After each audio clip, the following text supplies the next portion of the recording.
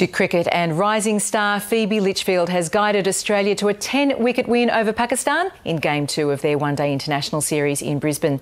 Australia sealed the series in a one sided encounter. Darcie Brown led the attack with three wickets as the visitors were bowled out for 125 in 43 overs.